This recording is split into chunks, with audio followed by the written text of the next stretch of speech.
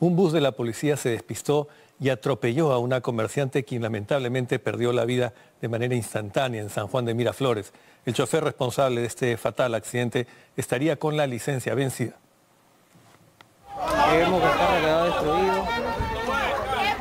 Empujando entre todos, no podrán entre todos. Llevaron los bomberos. Un despiste inexplicable y una madre que no perdía las esperanzas de rescatar con vida a su hija, que se encontraba atrapada debajo de este bus. Mi hija está viva. ¿Está viva? Sí, está ahí luchando por su vida y no hacen nada, señores. No hacen nada.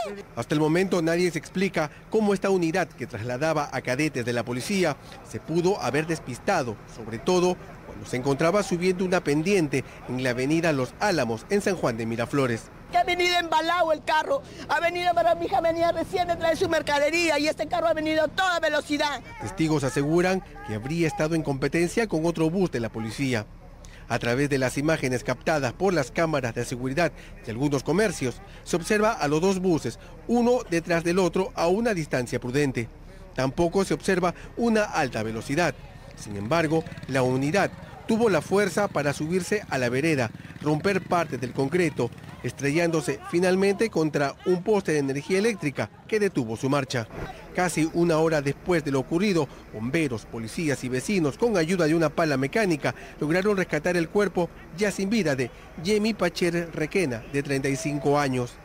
Según su familia, Jamie era una comerciante de verduras que tenía su puesto de venta en esta calle junto a sus dos hermanos, pero ella fue la primera en llegar e instalarse.